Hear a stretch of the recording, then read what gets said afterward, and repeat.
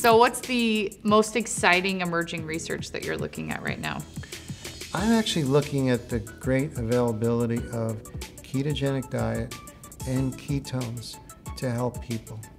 I think the area that I'm really focused on, probably because it's a passion for mine of mine, uh, is the cognitive um, benefit of ketones. The brain functions better yeah. when it's nourished with ketones. If we can enhance how we age and maintain an optimized cognitive function, that's yeah. what people are looking for.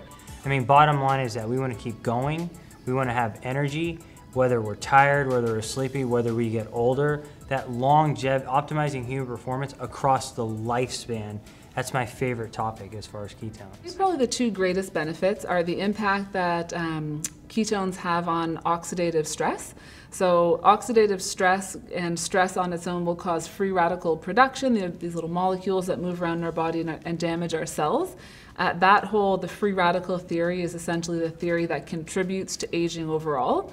And what they're finding is that beta hydroxybutyrate can actually help our bodies manage oxidative stress. And then the second one would be the impact on our genes. So we have these little things called telomeres. Um, on the end of our of our genes, and when our telomeres are long, we have a longer lifespan. When the telomeres shorten, our lifespan shortens.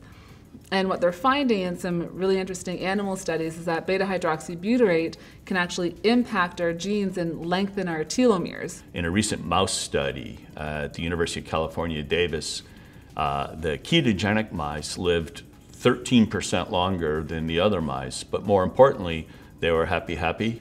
So as we age, our IGF 1 levels go down. This is a metabolite of growth hormone, and we have less of it as we get older.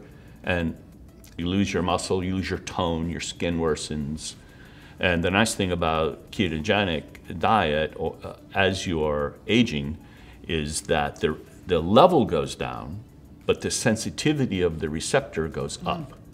So this is uh, very much like, you know, you, you're more insulin sensitive. So your insulin level goes way down, but you're sensitive to it. And so that's a healthier place to be. The, the real challenge is there isn't enough funding to be able to do all the work we would like.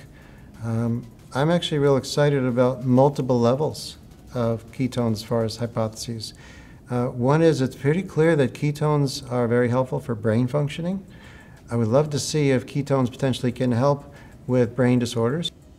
It's really neat when people come up to you and tell you a story about how it helped them, how either the ketones or the ketogenic diet or something in this whole um, keto space, for lack of a better word, is making a difference in their lives, and that's that's kind of what I became a scientist to do. I never wanted to be a physician. I always wanted to be a scientist, but it, you know, it's it's making a difference, and that's yeah.